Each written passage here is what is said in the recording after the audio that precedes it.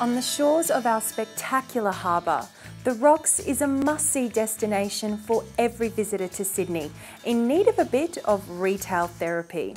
If you're looking for gifts for friends or family, you'll find high quality Australian made products and special one-off pieces sought by Sydney siders and visitors alike.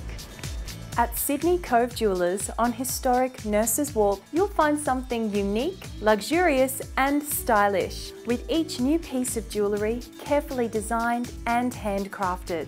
Speaking of things unique, Hathi Jewellery here in the historic Playfair Terrace is a treasure chest of handcrafted one-off pieces by local and international artists as is the Craft New South Wales Gallery, where you can buy jewellery, homewares and gifts made using every type of craft technique you've heard of, and some you haven't. Make sure you check out the art to wear.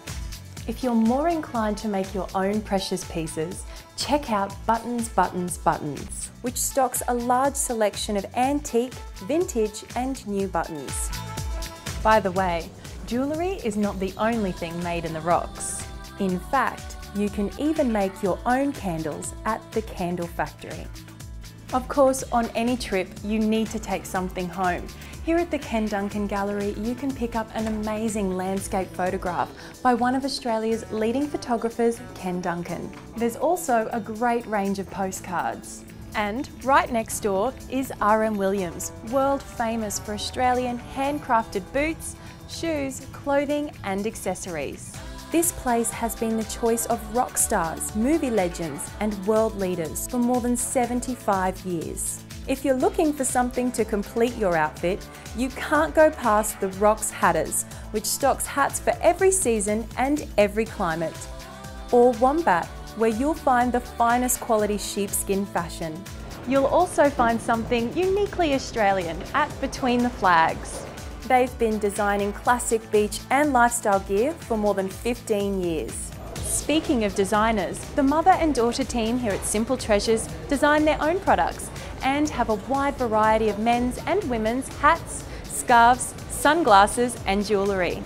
And of course, any serious shopping trip should always include the Rocks Markets, open every Saturday and Sunday.